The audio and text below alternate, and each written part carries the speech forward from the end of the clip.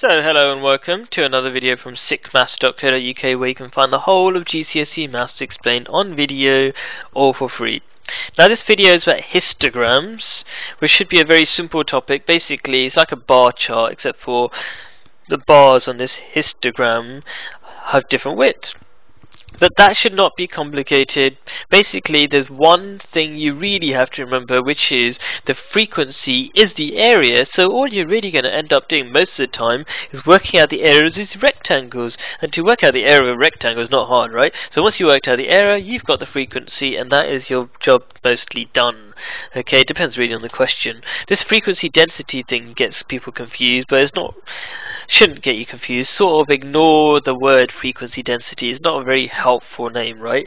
Okay, but uh, you will need to deal with these numbers, but I'll show you how that's done in a bit. Okay, so let's quickly go through this. Um, what a typical question is like is that they'll give you all sorts of groups or classes. This is basically using inequalities. Hope you know what that is. If you don't, just go to the website and search inequalities. Okay, that's saying you've got a group from 0 to 100, 100 to 250, etc. So you can see 0 to 100 is there. That's the first group. Second group is 100 to 250, as it says there, etc., etc. Now, if they tell you to begin with that the frequency is 100, okay, then that means you can work out this frequency density thing. And it's important to know this thing so you can work out the areas of the rest of these bars, okay? So you can see the widths, but you don't know the heights until you've worked out these numbers. Okay, so imagine these are blank for now, and what you do is you know that's 100, and you have to go 100 times what, because that's the height over here, equals 100. Okay, because that's the width, you don't know the frequency density yet, pretend these two are not here. Okay, and when you know the frequency is 100, so the area is 100, 100 times what makes the area of 100? 100 times 1 makes the area of 100. Okay, so what that means to say is that the frequency density uh, for this bit is 1.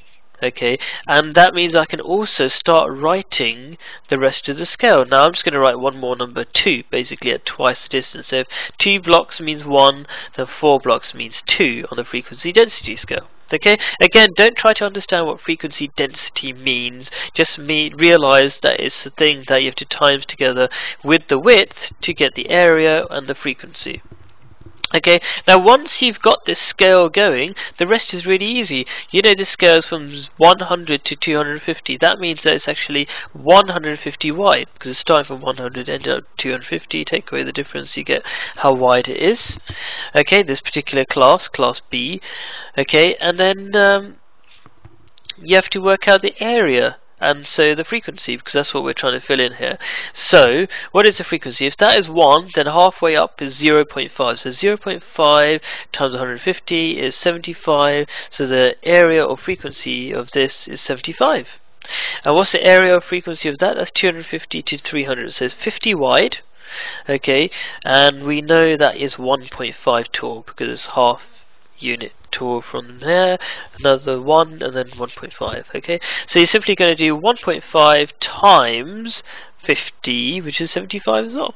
And finally, 300 to 450 times uh, 1, because that's the height of the 1. So 150 times 1, the frequency is 150, and that's it. I believe that, by the way, ignore it, that's another topic. And I don't know what else to say.